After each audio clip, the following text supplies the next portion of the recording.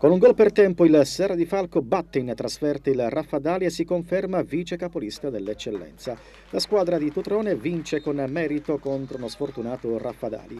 Dirige il match Frasca di Ragusa. Buona presenza di pubblico sugli spalti, presenti un centinaio di sostenitori ospiti. Al pronti via è già 1-0 Serra di Falco. Al terzo minuto l'ex Ribera di Miceli non sbaglia e punisce un errore della difesa di casa. La squadra di Mimmo Bellomo ha un'ottima reazione. Il più ispirato è Di Maggio, ma la porta di Tarantino non capitola. Il Serra di Falco è una squadra compatta, ben organizzata e gioca un buon calcio. Di Miceli impegna più volte il portiere Vizzi. Il primo tempo termina 1-0 per gli ospiti. Nella ripresa è sempre il Serra di Falco a comandare la partita. Altre occasioni per gli avanti serrafalchesi sempre più vicini al gol.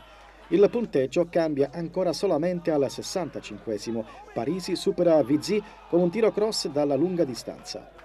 Match tutto in salita per il Raffadali, timida reazione della squadra giallo-verde. Il Serra di Falco non corre mai seri pericoli. La vice capolista sfiora più volte il terzo gol con Tummarello e Pirrotta. Soltanto nel finale la squadra raffadalese si procura le occasioni migliori per riaprire la partita. La fortuna però volta le spalle a Di Maggio e compagni. Il risultato non cambia, vince e con merito il Serra di Falco alla Raffadali vanno i complimenti degli avversari e degli addetti ai lavori. Il mercato di dicembre darà un altro volto alla squadra di Bellomo, indosseranno la maglia delle Raffadali Sciacca, Iannello, Romeo e Virga, giocatori di indiscusso valore che avranno la missione di aiutare il Raffadali a salvare la categoria.